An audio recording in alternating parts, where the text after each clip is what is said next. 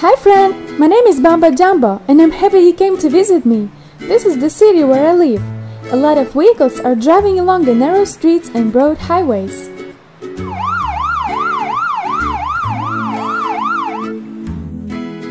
Look, our road is closed here. What happened?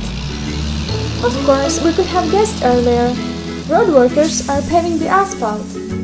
One of the machines that helps road workers flatten the asphalt surface is an asphalt roller. An asphalt roller consists of several parts. Let's assemble this machine together. Let's start. First, let's take a base frame of our asphalt roller to which we will attach all of its components. Now, let's attach the main parts to our asphalt roller. They are roller drums, located where the wheels would be. One front drum and one rear drum.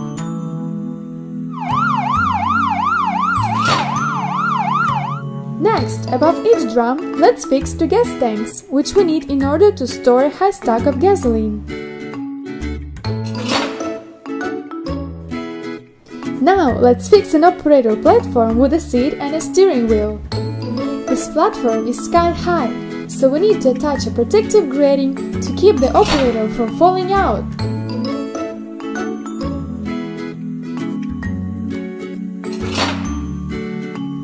The asphalt roller is ready.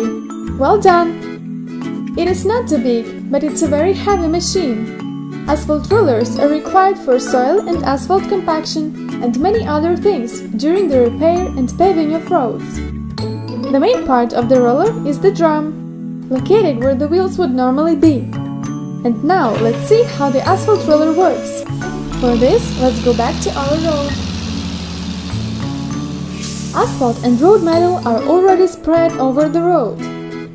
Now it's time to flatten the asphalt surface.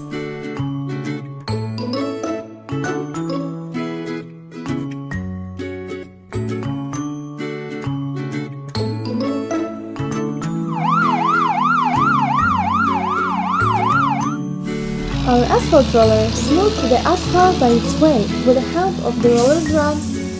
And now just let the asphalt dry.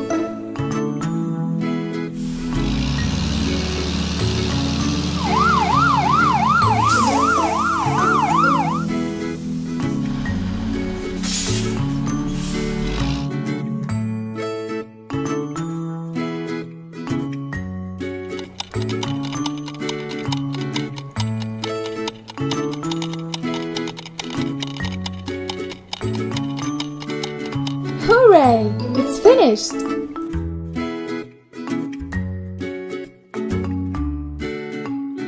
Our cars are hurrying away on their business again.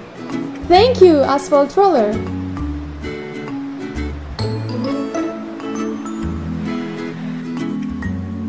Dear friend, it's time to say goodbye. Now you know how to assemble an asphalt roller. See you soon. Bye bye.